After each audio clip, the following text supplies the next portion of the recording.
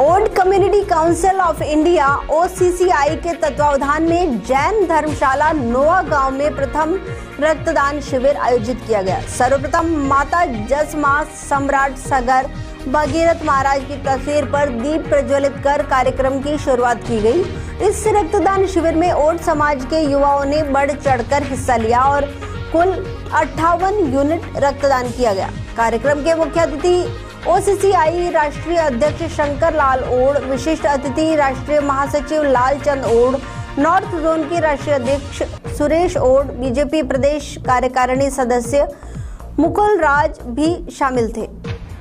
ओसीसीआई के तत्वाधान में रामगढ़ विधानसभा क्षेत्र के अंदर नौगांव में हमारी ओसीसीआई टीम अलवर ने एक पहली बार हिस्ट्री में आज़ादी के बाद पहली बार ओड समाज के किसी संगठन ने रक्तदान शिविर का आयोजन किया है। मैं इनका तय दिल से धन्यवाद करना चाहता हूँ और हम अपने नौजवान साथियों को तैयार कर रहे हैं कि समाज के प्रति हमारी भावना समर्पण की होनी चाहिए। ये समर्पण का काम है। रक्तदान रक्तदान एक जीवन दान होता है मेरे हिसाब से। और जो रक्त देने वाला है, उसको हम जीवनदाता कह सकते हैं।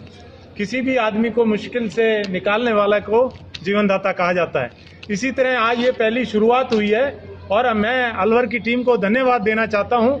ओसीसीआई का ब्लड बैंक पूरे देश के कोने कोने में ओड समाज के युवाओं के द्वारा ब्लड देकर पूरे देश में एक ब्लड बैंक बनाया जाएगा। और हमारा टारगेट है कि करीब दो लाख युवा ओड समाज के ब्लड डोनेट करके जो हमारे ओड समाज के गरीब लोग हैं, जिनको ज़रूरत होगी, उसमें योगदान देंगे।